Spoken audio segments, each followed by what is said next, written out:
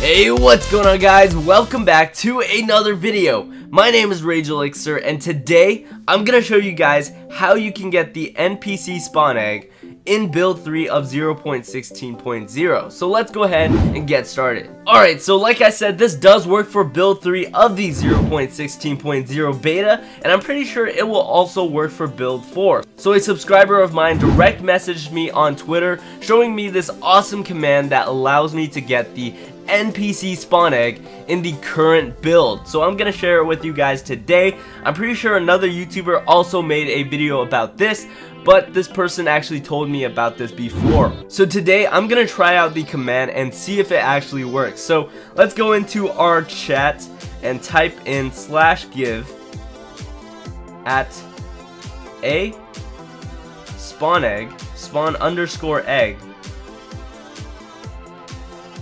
151 and apparently it will give us the NPC spawn egg. You know what, let's give myself 10 of them. So let's see if it works. Go out and it says given spawn NPC 10 to Steve. And yes guys, I forgot to change my name.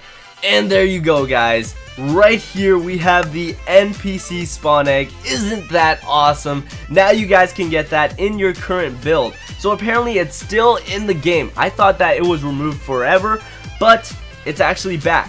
Now, if you want to spawn in like cameras and stuff, you can't do that. You can only do that in build 1 of the 0.16.0 beta, so that's really unfortunate. But, as you guys can see, you can now get the NPC spawn egg in your current build.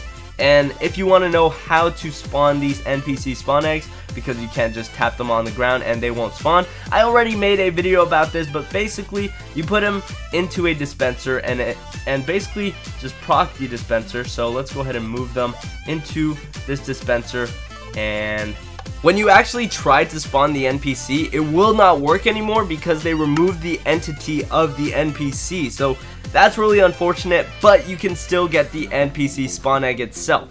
So anyways guys, hopefully you guys did enjoy this video. I know a lot of you guys have been showing me a ton of support, but let's see if we can get to 2,000 likes within the first day on this video. If we can do that, I will start streaming on Mobcrush once again. I know a lot of you guys miss my live streams, so if you guys want to see more of my live streams, make sure to get to 2,000 likes within the first day. Anyways guys, thank you guys so much for watching. Make sure to subscribe to my channel if you guys haven't already, and also follow me on Twitter, Instagram, and Snapchat, and I'll see you guys next time.